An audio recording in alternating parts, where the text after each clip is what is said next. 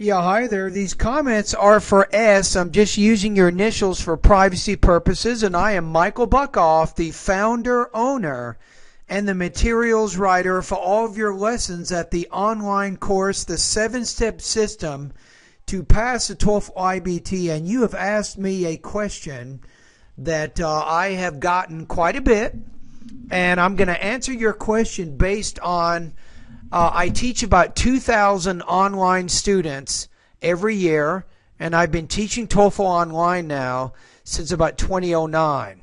And uh, not all my students, but some of my students, they will tell me what their TOEFL score is before they start my course, and then after they finish my course, they let me know how they did.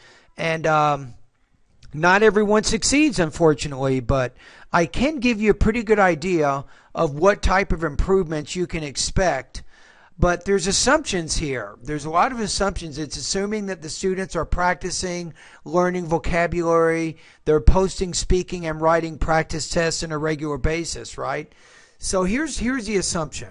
There's kind of there's kind of three main things that you have to assume if the the student wants to make improvements. And I'm gonna I'm going to speak from my point of view from the people who use my online TOEFL course.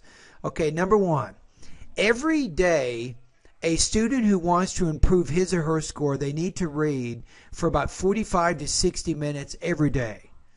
Uh, they need to read uh, longer books, magazines, and newspapers. Now, if they do these three things, beginning with the reading, you can expect approximately uh, five to 10 points for each month that the student studies. That's actually pretty realistic, and that and I have seen that improvement from thousands of students who have used my online TOEFL course. I wish I could give you faster results, but I'm, I'm not going to promise uh, something that doesn't happen. So you're looking at about five to 10 points for each month. So to answer your question, to go from 60 to 70, you're probably looking at anywhere from 30 to 60 days. If the student does these th- three things, number one, they need to be studying, uh, reading extensively about 45 minutes every day. Uh, they can read, like I said, magazines, newspapers, and books. Now, the important thing is the student is getting used to the language, getting used to reading, vocabulary, grammar, all of that. Number two, the student also needs to practice about 45 to 60 minutes every day with listening materials. The student can watch TV programs, especially with an emphasis on science, news, history, and documentary programs.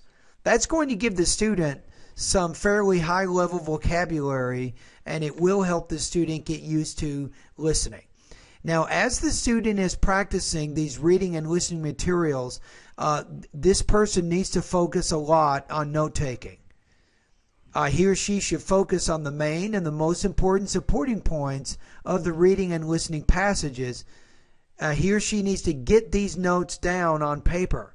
This is very important.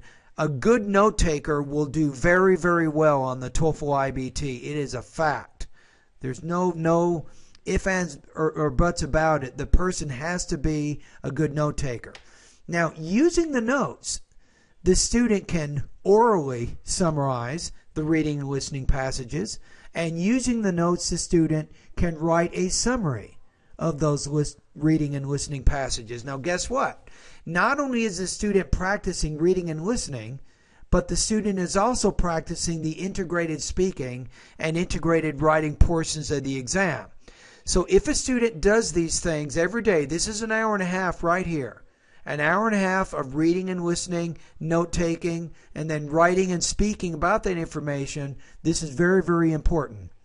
Now, the last suggestion is as a great supplement to your program, this is really going to help your program, I promise you. The student can use my online TOEFL course about two hours every day.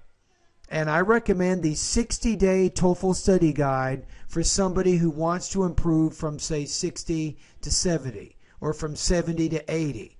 So again, I will include the study guide into the link or into the email so you can take a look at it.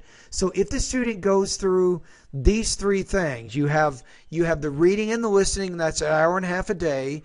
You have a couple of hours every day for 60 days at my online TOEFL course. Now you're looking at what three and a half hours every day of study. Uh, this person, if this person is motivated and does exactly these three things and studies every day for about three and a half hours, the person should make or reach the goal of 60 to 70 uh, in about two months, hopefully less than two months. All right, so those are my suggestions for you. Thank you for your questions, and uh, all the best to your students' high scoring TOEFL success.